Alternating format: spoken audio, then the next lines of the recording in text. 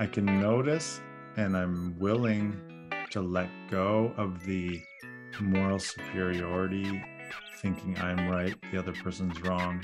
Where I'm trying to practice now is admitting to myself or acknowledging that I'm actually scared. So when I let, if I let go of the defenses and the pointing the finger at others, then I'm, then I must feel my own pain. I must feel my own sadness or insecurity. Hello, everybody. Welcome to the State of Mind podcast, where we create conversations about mental health that change lives. Through these discussions, we hope you find meaning and encouragement to cultivate your innate capacity for resilience and well being. My name is Mike Stroh. I'm a psychotherapist and the founder of Starts With Me, a consultancy that specializes in K 12 education and workplace mental health. Hi Tony, we're we are back with the next part. I don't know even want to say part 2 because this may be many parts, but we left off last time toward the end of step 5 and just started discussing step 6 and one thing I remember you mentioned to me, however, I don't know, a handful of years ago, when doing the or having these type of conversations, you said something along the lines of it's sacred or there's something, and I don't know other words to use, but I guess religious words seem to be the only ones available, but there is something sacred about these conversations and about talking about these things. And so hopefully people who listen to the first one, if you did not, I encourage you to do so prior to listening to this, although I'm sure you'll be able to follow along if not. So we are going to start, I guess, with step six. So maybe I should read that. So step six is we're entirely ready to have God remove all these defects of character. Maybe, Tony, do you want to just start with your experience with step six? Thank you, Mike. Hi, uh, thanks for having me back. Uh, I'm an alcoholic and addict in recovery. My name is Tony. Um, I feel it's important to say that, get myself grounded uh, I, it's my pleasure to, to be here with you again and just sharing my experience. And thank you for saying about the sacredness of this program and, and what we do in the 12 steps. And yes, I do feel for me that that is really the most apropos word to describe the journey. Um, so I take it really seriously. I know this for my own experience to be a, a life-saving and life-giving experience. Um, and the honesty that is shared between a sponsor and sponsee or whoever's uh, the mentor, uh, protege going through the experience, and the safety that is, is ensued from this, I think is really important, you know, for the recovery process. So that's why I feel like it's important to keep keep that level of safety and you know like for lack of better word sacredness of, of the program so that we can both experience the healing. Because i know for me uh, that didn't happen overnight. It was something that took a long time to, to foster even in this recovery because i had so much trauma and a, uh, an experience of not feeling safe in the world that for me to just to be engaged and to really move into the process it really took a long long time you know for me to to grab hold of and and to really trust. Um and i'm still going through it. Like i my sobriety date is august 1st 1998 i've been through the steps you know several times. Um my experience with steps six and seven, I kind of lumped them together. Today is quite different than originally when I first went through them. I remember distinctly being so consumed with steps four and five and eight and nine that I really feel that I just kind of skirted through six and seven, not really even understanding what they were about. Um, spiritual principle of step six, as I understand it, is willingness. And um, the way that I experience step six, uh, either on sort of the receiving end as a sponsor with a sponsee, is pretty much out of the big book today, where we're asked after we we do our step five, and we have disclosed all of this stuff, and it admitted admitted to myself for my first time, you know, what my wrongs are, um, and you know, identifying what these shortcomings or defects of character are. The big book in this instruction asks me to return home for an hour and to reflect upon it. I did not do that the first time. I, I never really did the steps in the order or the way that the big book describes it to do. I didn't really know what I was doing. I had a sponsor and we kind of sort of just did it, you know, like we did a step four, then did step five. And then then after that it was like I don't even know that I did a step eight list where I wrote it down. Um, again, what I was more consumed with was the going out and making amends. So I don't know that I was really in the present moment of really absorbing what I had just done in step five to really reflect and take a time and really ponder over what these what I want to change about myself because I understand step six is the beginning. Like I think the whole process of steps four through nine is a process of change, spiritual transformation. But I think step six is really a key uh, action, you know, where I really take that time to really prepare myself to move forward with the process of step seven. And uh, an interesting exercise that I was shown through the mucking process, um, which is a process that is used in, in a lot of circles of um, various fellowships that I'm in, where they kind of go and muck through. But there's a language and there's a bunch of bunch of things that you do. And one of the things that I was asked to do was to stand in front of the mirror and look at myself and to say to myself out loud and and list off all of my defects like and, and look myself in the eye and say it to myself because you know and i found that experience to be very a, a, good one and i would encourage people to do it because um, I'm just so good at self delusion and self dishonesty and lying to myself and not really taking the time to really appreciate what I'm trying to do in step six. Um, was mentioned in uh, towards the end of our last session about the book Drop the Rock. I really find that book particularly beneficial. So when when and this is something I use with my sponsorship style today is when my sponsee has completed step five. We then, I ask them to go and do that reflection piece for an hour, but then we read the book together, Drop the Rock. And just so it can really articulate and identify and bring to light, well, I, I think a lot of what we don't really understand initially. Because I don't know, for me, this stuff has been with me for such a long time and uh, and it was like difficult for me to really hone in on exactly what what my defects of character really were you know? Um, you know and so I, I find that book particularly helpful for that piece of Great. it yeah. Yeah. I'm gonna on that note i'm gonna just read a little bit from drop the rock. It's page 28 under step six Step six requires us to stop struggling.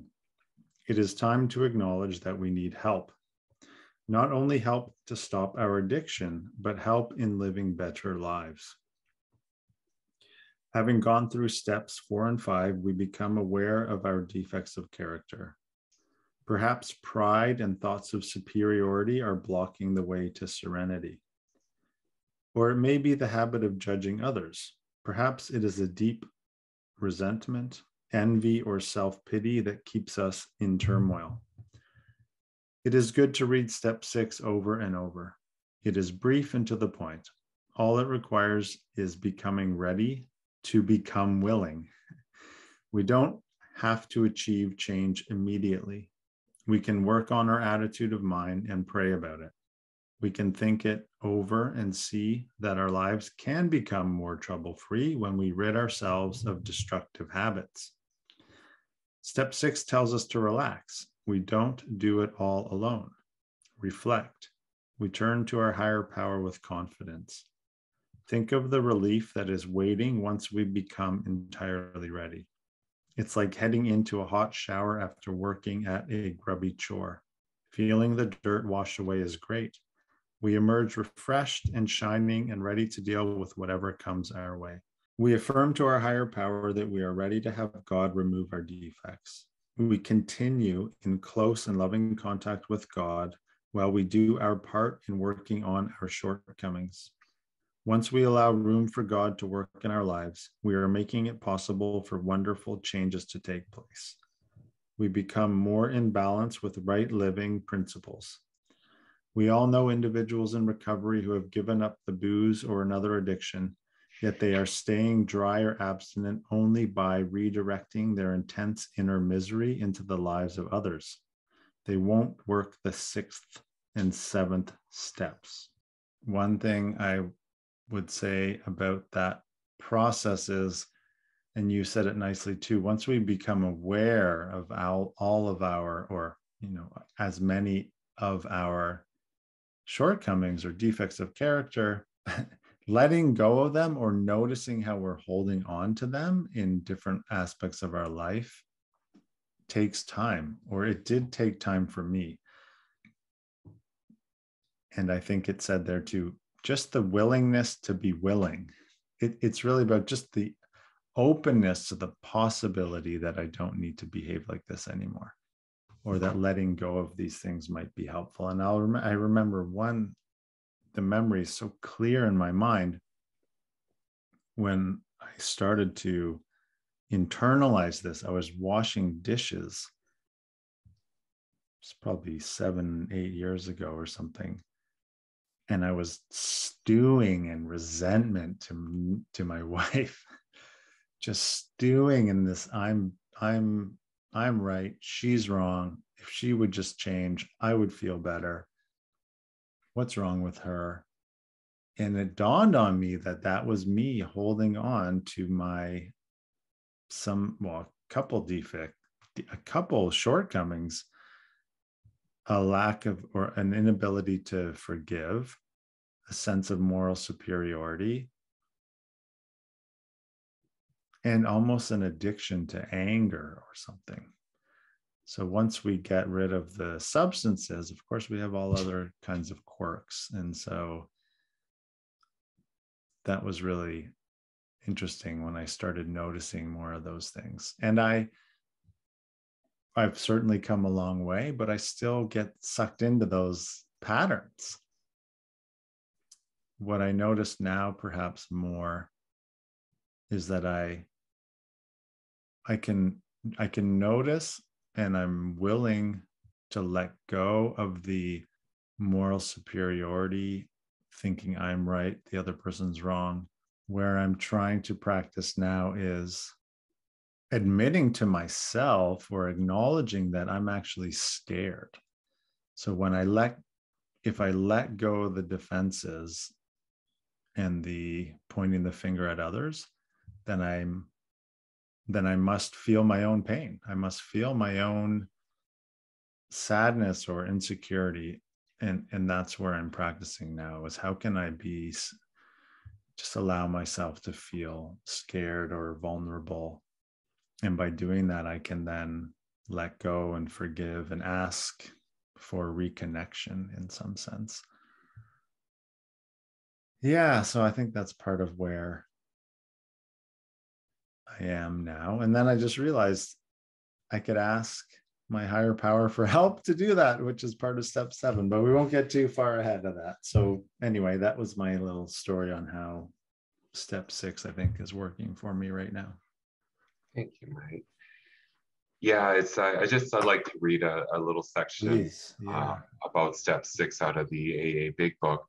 It says, returning home, we find a place where we can be quiet for an hour, carefully reviewing what we have done. We thank God from the bottom of our heart that we know Him better. Taking this book down from the shelf, our big book, we turn to the page which contains the 12 steps. Carefully reading the first five proposals, we ask if we have omitted anything, for we are building an arch through which we shall walk a free man at last. Is our work solid so far? Are the stones properly in place? Have we skimped on the cement put into the foundation? Have we tried to make mortar without sand? So, like, all that really reminds me is like, have I done my utmost and and honestly really surrendered all of this stuff in my fourth step out you know have i have i done that or have i omitted anything? Have i kept something to myself? Um, is there anything there that really because i really feel it all needs to be out there and we need to share it all and bear it all as as difficult and as humiliating it might feel at the time. I think it's really important that we do it. And so that's why it's asking, like, did we actually get it all there? You know, and it says if we can answer to our satisfaction, then we look at step six. We have emphasized willingness as being indispensable. Are we now ready to let God remove all of us, the things which have admitted are objectionable? Can He now take them all, every one? If we still cling to something we will not let go, we ask God to help us be willing. You know, and so like steps, um, like in step six and seven, you know, they use the ideas of uh, defects of character and shortcomings. And I had some confusion around them. I used to think they were kind of the same thing. And I understand a little differently now that defects are the attitudes, behaviors, beliefs that I need to discard, that I need to, that are hurting me, they're blocking me, they're, they're no longer serving me, you know, and they've got to go. Um, and then the shortcomings are the things that I know I would be better off not having, but I'm not really there yet, or I'm still, you know, you mentioned about like you know, pride. I know for me, that's it's a big one. You know, I, I like to feel just a little superior to others. You know, I know this is a shortcoming of mine, but still, sometimes, you know, it's it's like, you know, it's a shortcoming because it it it's it's you know it's it's kind of has to like in a way it kind of serves but in a way it doesn't you know it's uh it's something that um, I think people pick up on, and it's uh, it it it doesn't foster that trust, you know, in in me or others, you know, because they're going to pick up and they're going to, you know, I mean, for a long time I thought I was supposed to show you what being recovered looked like, so and that I didn't make any mistakes that's what it, that's how I interpreted it. That everything that I said and did was in the air of perfection. You know that it that I didn't make mistakes, and I didn't show you that either. Um, I was pretty careful at not allowing you to see that side of me because I thought I wasn't supposed to. You know, I thought I'm supposed to be an example and I'm only supposed to show you what recovery looks like, not the vulnerable parts of myself. And I have a completely different stance on that today that I think that it's even better for me to show the vulnerable parts of myself, to put my pride aside, to really let you see me, you know, because that's how you're going to feel safe and feel like at par with me, as opposed to always feeling like I'm up there, uh, you know, and, and they're down here, and it, it has this hierarchy, right? So I wish I'd understood that a long time ago. You know, I, I didn't. Um, it's taken work in other recovery fellowships to help me understand that a little bit better. Yeah, so um, where I'm at today with that is really trying to just exercise that vulnerability. And I said it in my last talk is like showing you the warts, you know, showing you the warts. That's the part that's uncomfortable for me to do, you know, and to uh, to counteract that thinking that I'm supposed to look all together and appear like, you know, it's. I mean, I don't want to sit around and just like be a martyr or you know morbid in in my sort of undertaking of that uh, don't get me wrong but i think it's also equally important to just show you like when i'm going through a rough period right? You know? Yeah. Um how how have you seen other people perhaps? Or maybe that's a bit tricky because we're we don't want to do other people's inventory, I guess. But this this sense of I like how you distinguished the defects from the shortcomings. So maybe I'll start that with that. What I also would add to the shortcomings, shortcoming, shortcomings, mm-hmm. is the areas of our life that are so for example i want to be quicker to forgive or i or i maybe it's i want to be able to let go of the resentments and the sense of i'm right you're wrong i'm good you're bad a little bit more quickly. And my shortcoming in that respect is just the fact that I I want to be more serene and more at peace. It's almost as if I'm I'm I'm it's a moving forward kind of thing. I, I want to be more in the hands of the higher power, in the spirit of recovery or compassion or or love. But there's I'm still not willing or or no, I'm willing, but I I still hold on to the rock. mm-hmm. I still hold on to the rock and and I can't let it go or or I can't let it go as promptly as I want to. And if I can just maybe ask for help, this is where I often forget now is pausing and just asking the universe to help me or of course there's other people that i can ask for help but in this context i think the higher power can come in where it's just a surrender and oh I, I really just need to let this go right now but i can't i can't for some reason. And that's a shortcoming i think in some sense. I also think it's helpful to know what's on the other side of that? What do i want to be doing as opposed to what i'm doing now?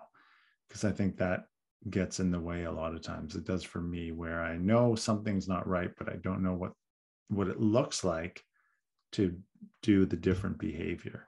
And that's maybe where the sponsors and having good sponsorship and learning from others can be useful. I know i didn't really say something specific about step six, but that's just a little thought trail I have. And I'll end it with one of my lovely teachers would always say, prayer is the bridge between longing and belonging. And for me, this the willingness to let go or the willing or, or the sense that something's not right and I need to feel connected is that longing. And then once I can let go of the rock, name the vulnerability, ask somebody for help or my higher power, that's that sense of belonging that I can step into. And prayer, I, I know some people, we talked about it last time, get caught up in the words, but prayer is simply just asking for help or or for something other than what's happening now so that's my circular comment on that mm-hmm. experience yeah i had pulled out as you were talking my my list of defects because one of the things that i did as an exercise in my last inventory um, process that i did last year because when when the pandemic struck, I got really shooken up, as with many people I'm sure in the world did. And uh, I did what I know to do, which is, um, you know, dig into the steps a little bit more. And I thought this would be a really excellent time to do this because my whole department was shaken up, you know, with what was going on in the world. All my insecurities were being sparked. I had no idea how much I didn't know that all along until the pandemic hit, right? Because, like, I mean, life was good and, you know, I was sober and, you know, it, there was a lot really going great. And then, but I still didn't really understand how still dependent I was on you know the way things were you know like i really hadn't fostered that real soul dependence on a higher power. And then when uh, everything like my ability to work and you know just be with people go to meetings all the things that i did that were part of my normal day-to-day life was suddenly pulled out from under my feet and i didn't no longer had those things. And i was just stuck with myself. It really was challenging at first. I remember my fear was really triggered big time. So I did that. I just, um, you know, I had, I just recently gotten a new sponsor and we were in a different program working at a different program together. So that was really great. It wasn't like I was doing the same old material all over again. It was brand new material. Um, the step four inventory sheets were brand new. Like everything was kind of, so it was for me, it was almost like being a newcomer all over again and having to relearn the program all over again. And it was really, really fundamentally good for my soul to do that.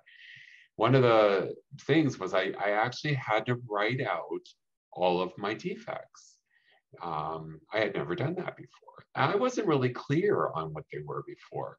And there's all kinds of really wonderful materials out there. You can you can Google search defects of character lists, and then they'll you know, published, there's all these published lists of every single defect you can think of.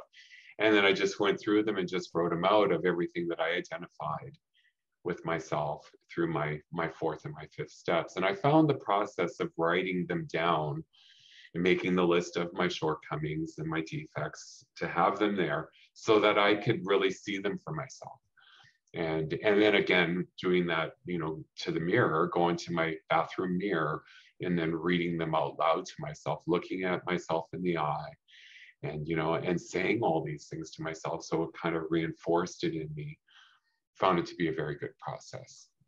Yeah. Well, any chance you want to read some of those for sure. us? I got my list here. So yeah, please. I think that'd be lovely. Okay. Yeah. So, um, and these were all what I plucked out, taken from my fourth step. So, self reliance, selfishness, know it all attitude and difficulty asking for help, mistrusting, I take things far too personally, I'm suspicious, I often play a victim, I'm slothful and procrastinating at times, especially when it comes to spiritual work. I'm still, I can be very slothful. I'm thoughtless. I'm often self seeking, prideful, can be condescending and sarcastic, envious, dishonest, mainly with myself. I still struggle with self honesty even to this day. Insecure physically and financially. I can be controlling, deceiving, and sometimes fake. you know, because I want to show you only certain parts of myself. Um, fearful, inadequate. I can be judgmental of others, self righteous, codependent, manipulative, miserly, perfectionistic, self justifying, cynical, self rejecting, closed minded.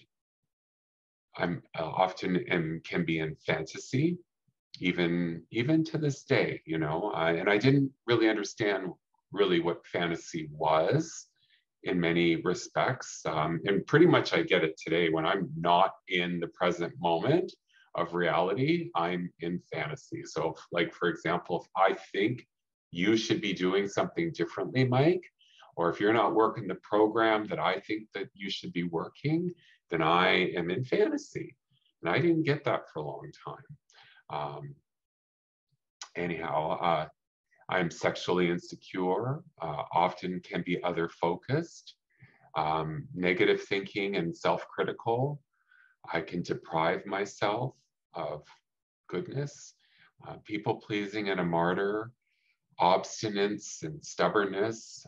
Um, I can be very opinionated, prideful, self important, and I often find myself enabling others. And finally, the last one was I objectify and sexualize others um, as a gay man. That's been a real thing for a long time in my world. And I also go to SLAA and I find that uh, that particular program helps me to focus on areas of concern around intimacy and um, a lot of stuff that I just really wasn't addressing in my A recovery work because the focus is more on substance abuse and recovery from that. And, you know, I find for me, the um, emotional and sexual anorexia that was the undercurrent of my addiction, um, addictions, I really feel for me today is really the one of the core issues is is the the deprivation the the um, the inability to appropriately express these fundamental needs you know that really got squashed down early as a child uh, began with me having to hide and not show the world who I really was because who I was was not good, you know, and uh, and you know there's just a lot of stuff a lot of stuff that i went through as a child trauma and different things that inherently made me feel bad about myself that i wasn't good enough that i didn't belong um, and i just carried this with me all of my life. So various forms of self-deception you know that were inherent for so long you know, that I didn't really understand how much I was carrying this into my life, you know. And really, I mean, I say this often, I mean, the world doesn't really ascribe to the principles that we learn in 12 step recovery, you know. I mean, I think in many ways, the 12 steps are contrary to what we're taught to be, to behave in the world you know um, and that's unfortunate i think in many ways uh, but you know I don't want to get that's another tangent I don't want to get onto. well, hopefully people can pick up that in sort of um, intuitively, or in some sense, it's self-evident. The more you learn about the steps, how helpful they can be, and how much we're not taught these things in daily life. On that, but I want to pause for a second because I want to shine a light on or honor how sacred what you just did is and how we the gift of this program in some sense allows us to do those things. And i don't know how many uh, to sit in to sit in front of someone and to say those things out loud for whoever's going to listen to this it's it's beautiful. And i was getting had a moment of getting emotional listening to you because it's just so wonderful to be able to one get to a place where we're self-assured enough to be able to look at our shadow. There's a lot of talk in pop psychology these days or in a lot of these sort of spiritual self-development communities shadow work. We're going to do shadow work. I have not seen anything remotely as thorough and, and deep and robust as the 12 steps in terms of doing shadow work and so just for everyone listening and just to say it out loud is how beautiful it is to hear another human being say those things in a way that's honorable and sincere and genuine is beautiful. It's so wonderful. So thank you for that. I wish I had a list like that in front of me now that I could read, but I don't. Mm-hmm. And um, another point I think that's important to note, because it might not be so obvious, is there's a huge difference between acknowledging our shadow selves, right? And all these things that we that aren't good in some sense, right? Or unhelpful. It's one thing to be able to see them and then to be able to share them out loud in a way that's not self-critical i think is is a a skill i don't know if it's but it it's a a sign of growth or something like that. Hmm. Because oftentimes we maybe the first times and this happens in the rooms a lot there's a lot of self-deprecating sharing you know i'm a stupid alcoholic or i'm a self-centered this i'm a and and i think there's a very fine line between that being some sort of avoidance or some sort of um, I don't know. There's just something that's not quite. I don't know if it's honorable or genuine about that. But when we can acknowledge our shortcomings in a way that's sincere and honorable, and that comes from a place of strength or self assuredness, that's just that's the ticket. I mean, that's where we really start to heal and open up and, and free ourselves. And then being able to share that with others is such a gift. So I just, yeah, I just want to thank you. And one more point is in my, as a therapist, the healing comes from that place so much. It's just it, it's not we don't necessarily have to do all these great things or, or or make progress in our lives in other ways if we can't dig out that darkness it's very hard to to make spiritual or emotional growth or progress and so that's my little story around that so thank you for reading that list it's beautiful and maybe if you want to add anything to that but then also maybe we should move on to step seven or just tie up step seven into this.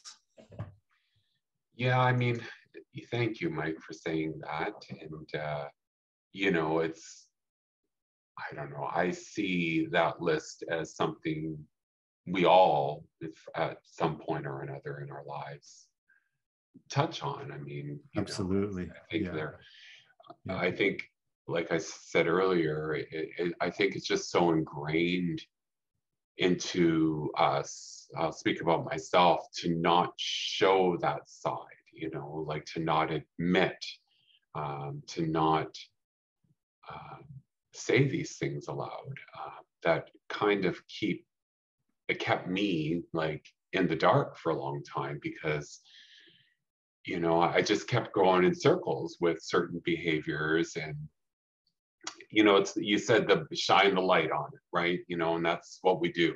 We shine the light in the darkness of our of our characters, and that's how we grow. That's how we heal. That's how I grow and heal. I should say. I'll speak in I statements. Um, but unless I'm first you know, made aware um, and, and um, so I can take some action. Like if I don't even know what they are, I can't take actions to correcting them, right? And I think that's really the first part of it is really just identifying what all of these are so I can then take it to step seven. And uh, and I need help. Like, you know, step seven is an action step, you know, and I don't know if you want to start. Yeah, I just yeah, right before just to pause there because I love that you said, and I need help. I think it's important to clarify or almost put put flags in the ground about we can't do these things alone and and i think to be able to get to a place where we can sincerely see those things in us and not run from them and actually see them as a sign of strength and a sense of common humanity. And i'm glad you remind you, you mentioned that because absolutely we share all these things. People share them in different ways and they're more prevalent in certain people and situations. But we can't do it alone. And that's very important to remember. I i think i mentioned it last time it took me almost two years to get through a really thorough fourth and fifth step and i had a you know i had a therapist i had a marriage counselor, I had a sponsor, I had the rooms. And that part of us that's so hurt or scared, whether it's from addiction and alcoholism or just from difficult lives, it really needs to be loved into the open. And and I just having a well of emotion, pleasant emotion, like we have to love ourselves or love each other into a place where it's even possible to see those things or where it's safe enough to see those things. And I, I think, yeah, I wanted to add that. And maybe that ties in a bit to step seven, the principle of humility. It's very difficult to be humble when you're still running around in fear or where when you can't recognize your inherent vulnerability as just being a human and i think getting to that place requires that love and that community that i just was mentioning and then and then we have the opportunity to practice humility and I remember the one definition of humility that I like is it's not thinking less of yourself, but it's thinking of yourself less. And maybe just briefly, let's, I should probably read step seven. Um, I think it's humbly asked God to remove our shortcomings. Is that right? I don't, I think that's verbatim, but mm-hmm. I should have it in front of me, which I do not. But yeah, so maybe you said you said step seven is an action step, and and maybe you can kind of walk us through what that's like from your perspective.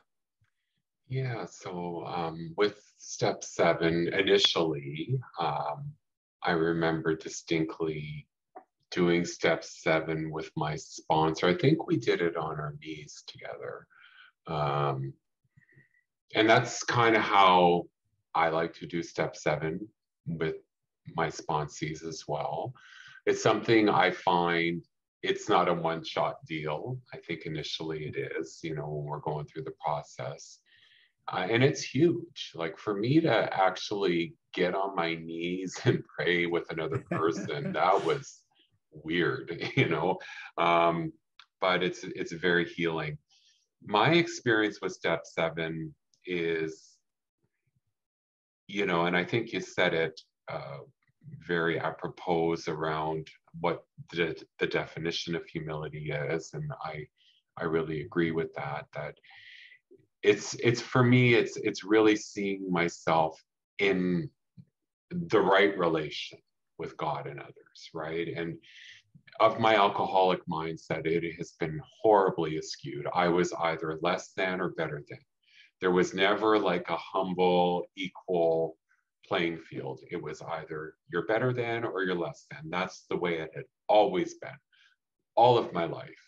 Even to this day, you know, even like in work cultures, there is this like you're either better that you have the answers for everything. Like, you know, this is what I have yet to see, especially in the workplace, is, you know, somebody just saying, like, I don't know. you know, I don't know.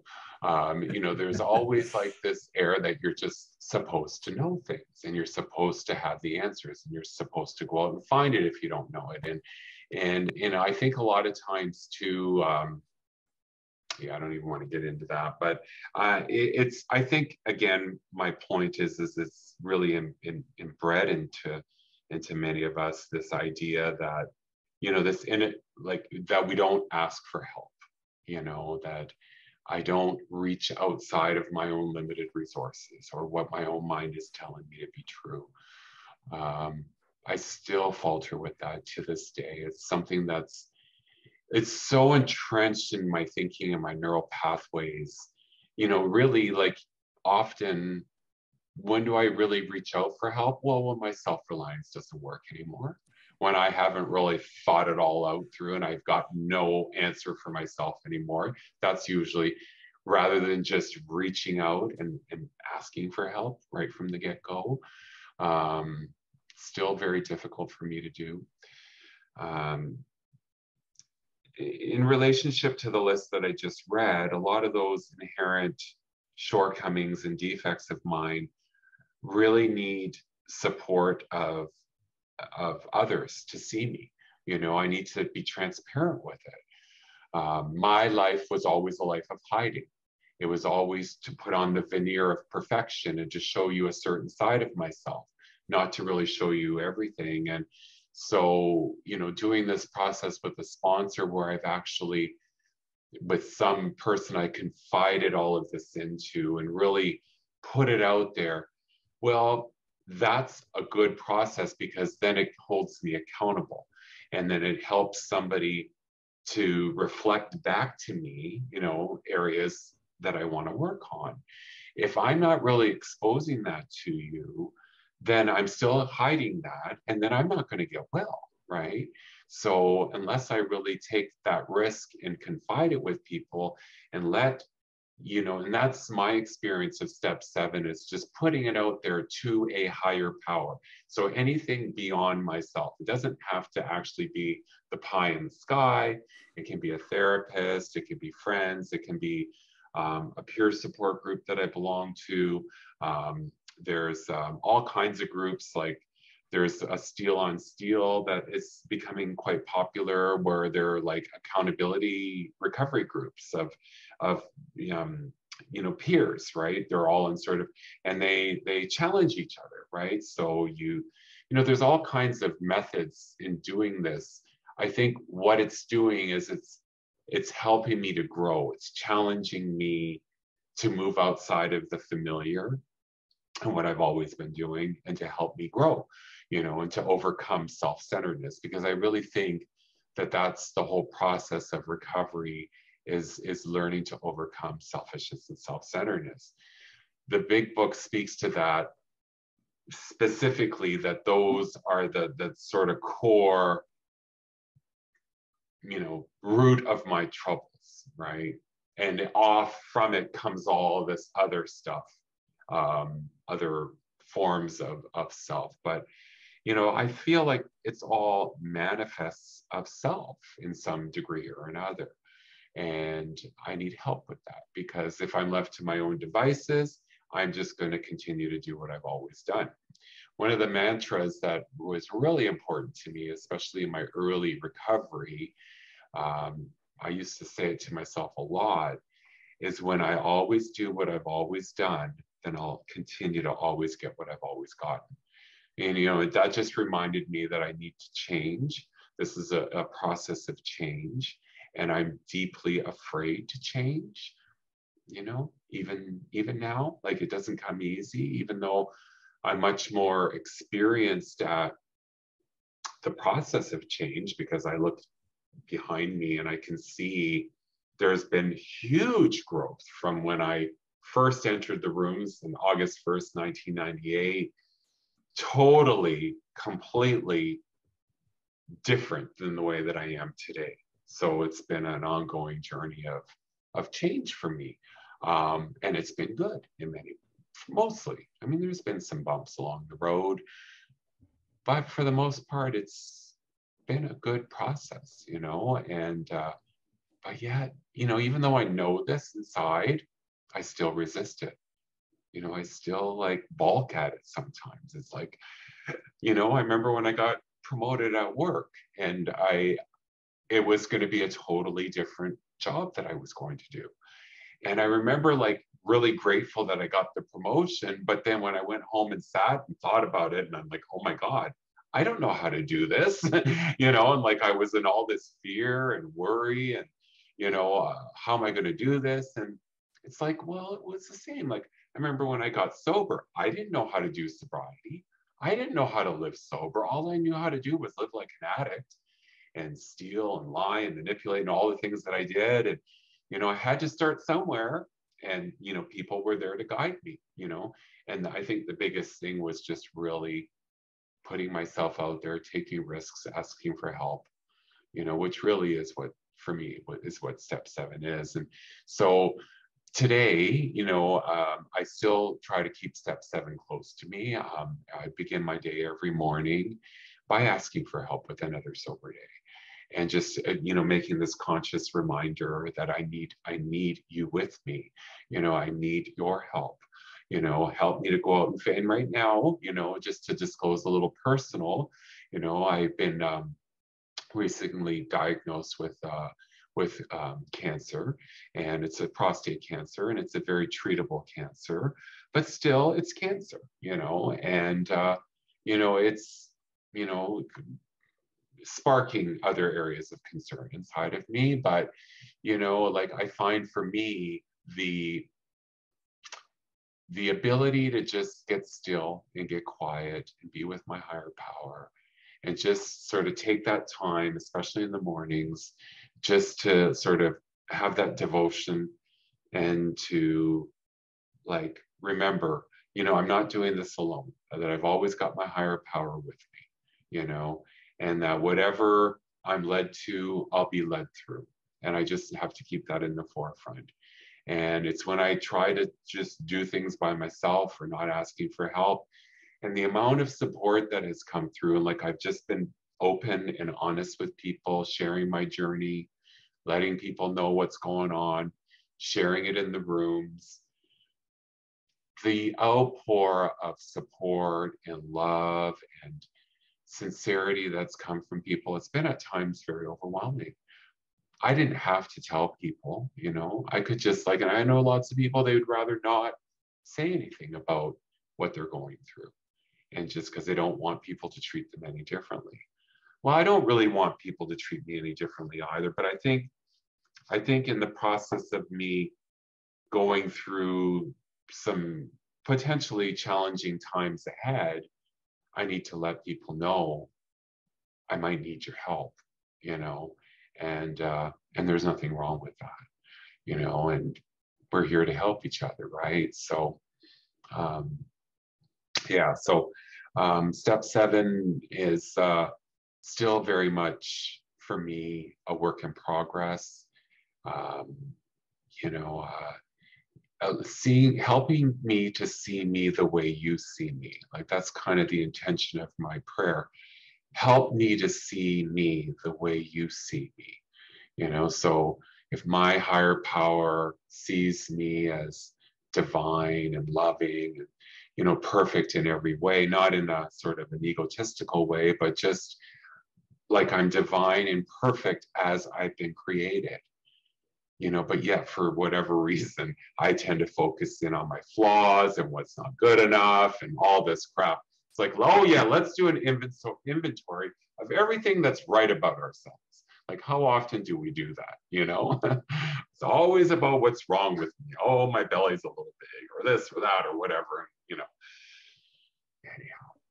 Yeah, that's really nice. yeah, it's no, it's just so nice to sit and listen. Okay, I'm gonna before we move on to step eight here, I'm just gonna read a bit more from Drop the Rock. Okay. This is page 140. The 12 step way of life is humble, but not in any way meek. The picture many of us have of a humble person is someone afraid of his or her own shadow, whose self image is so low that this person is afraid to stand up for him or herself. We learn that this image of humility is not what is meant in the program we realize that the people who have stayed abstinent for some time practice a degree of humility that was foreign to them prior to recovery. For those who have made progress in their program, humility is simply a clear recognition of what and who they are. They have gotten down to their own right size. Humility is understanding that they're worthwhile it's the middle ground between the extremes of grandiosity and intense shame. They have a sincere desire to be and become the best they can be. Today, we remember that humility is not being meek, it is being our true selves. Humility for us means staying our right size and remembering we are as humble as we are grateful. For our definition, we will use this idea from Sam Shoemaker humility equals gratitude. Humility is an attitude. As such, it must be practiced to be maintained, and it must become a discipline to be developed, just like every other attitude. In developing humility, we are faced once again with an active surrender. In asking God to remove our shortcomings, we must move and act in a manner that reflects our willingness and surrender. To do this requires spiritual values, service, perspective beyond our addiction to alcohol, drugs, food, sex, and so on, to the addictive nature of our lives. Asking through prayer and being willing to receive through humility, trust slash asking for help, overcoming fear, understanding and trusting the process, dealing with stress, responsibility slash action slash action, and solution focused thinking. I'm going to pause with that. I think that sums it up pretty nicely. Really, really good. Yeah. whoever wrote this book, I know there's some authors, but it's wonderful. Okay.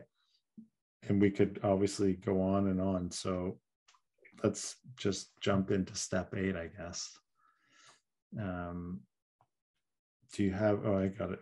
Here we go. Okay. So made a list so step eight, everybody, the principle is love, or sometimes it's responsibility, or step nine's responsibility. I think I've seen, is it normally love or responsibility, I guess, depending on whose list you look at.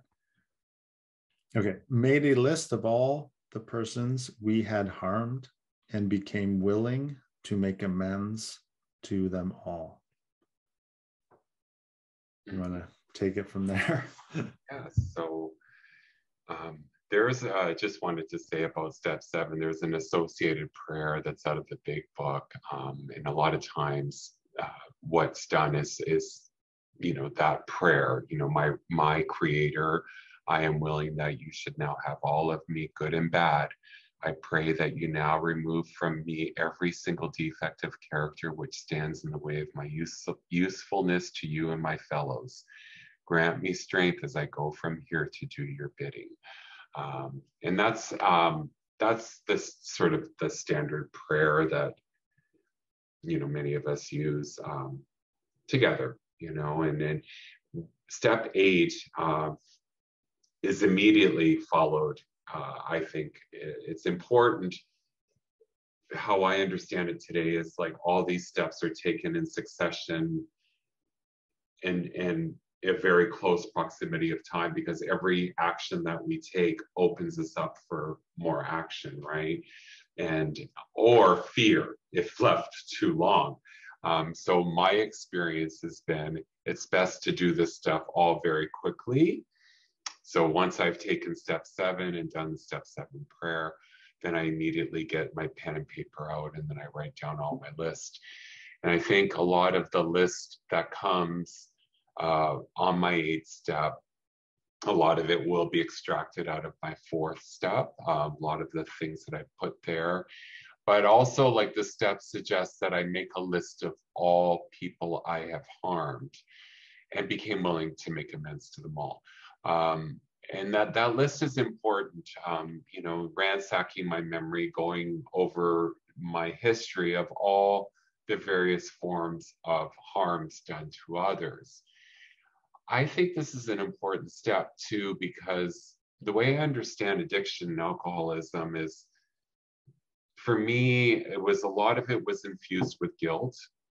I guess somewhere along the line in early childhood, I inherited the belief of I was bad, I wasn't good enough. Um, this guilt settled in, and um, I started to to go awry. You know, there were just a lot of things that were starting to happen, and and I found the process of sitting down and writing out the list deeply spiritual and and just getting and it it it kind of moved my heart, you know. And uh, yes, the the principle is love. Uh, uh, in my notes here, it says some say forgiveness. Uh, I I can concur with both of them because I remember distinctly feeling in my heart as I was writing it all out, something was shifting inside of me, specifically right after doing step seven and then moving into step eight, where I actually finally took ownership for my part in things.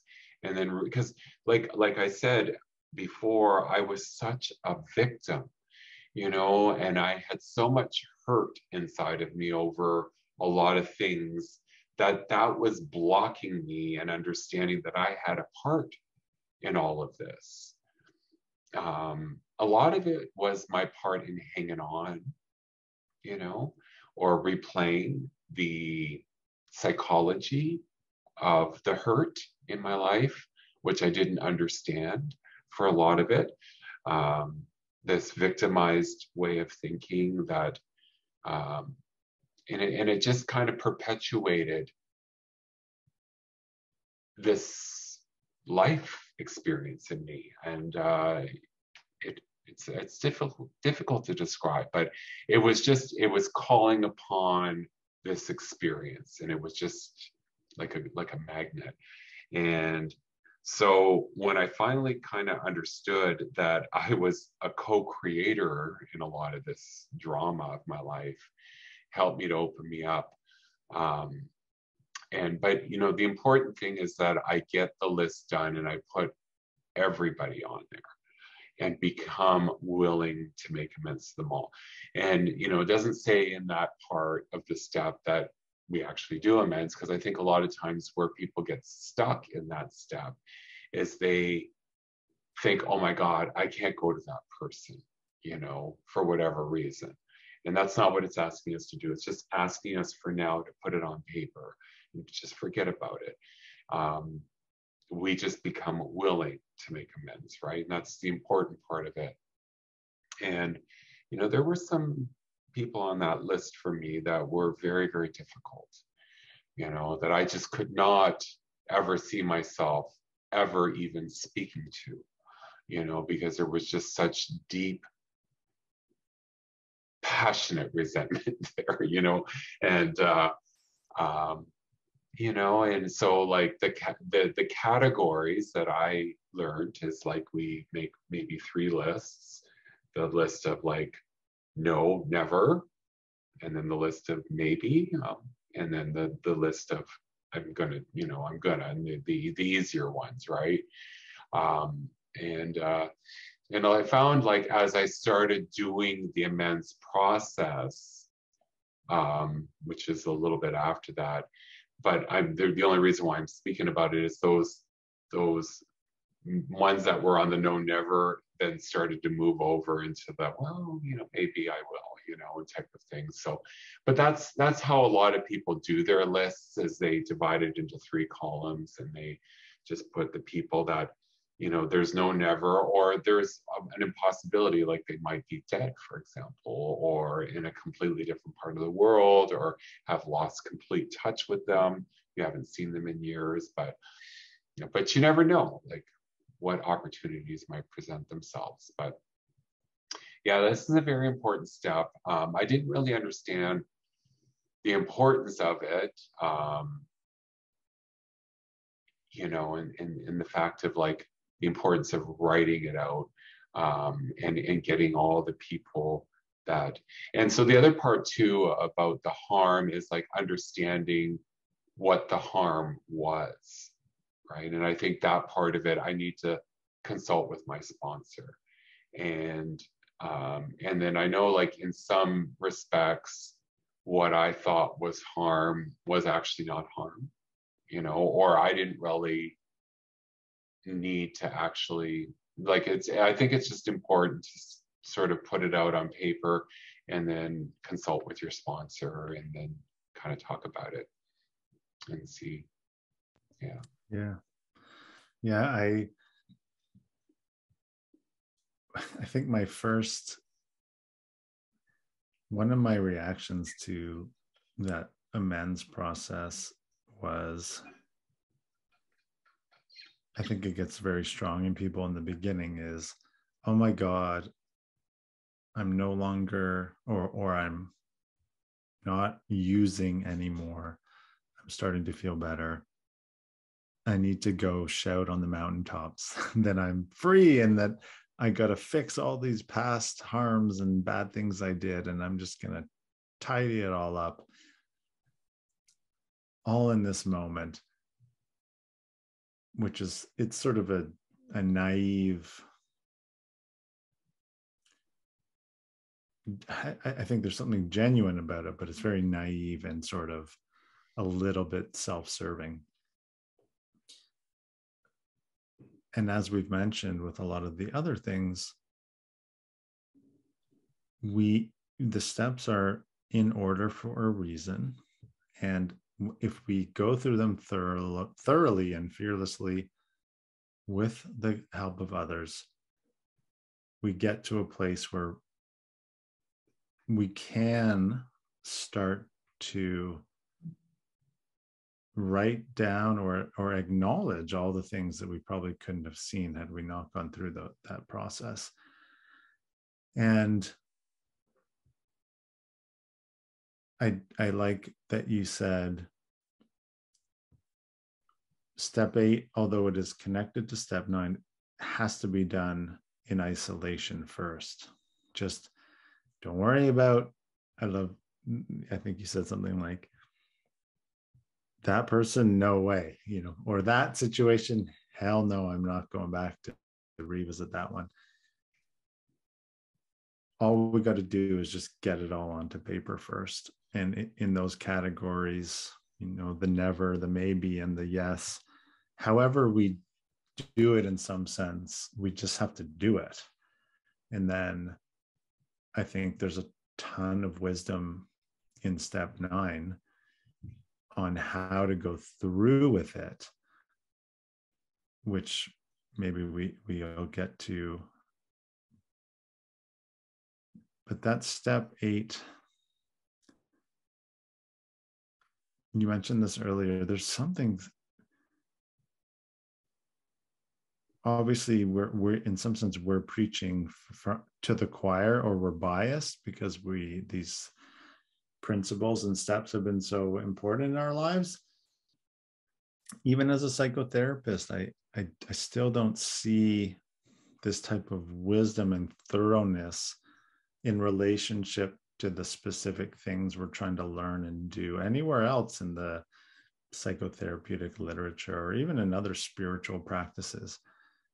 So there's something really freeing about the step eight process because I think maybe even up until step eight, it's very much an internal house cleaning. it's an internal yeah I, I guess that's the best way to say it or the only way that's coming to me now and then we're ready to pivot to to others we, we've really changed and now it's time to step up i guess and and see if we can carry this into into our relationship with other people.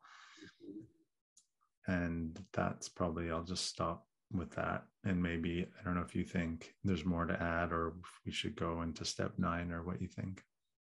Um do we have time or yeah i don't know. That's a good question. Yeah, eh, yeah. there was thing in the feels background like i was like yeah. feels like a good place to i agree. pause i for agree. this and then I agree. you're right it, it it then moves in. So yeah you're right. It it is largely a house cleaning right? And so now yeah.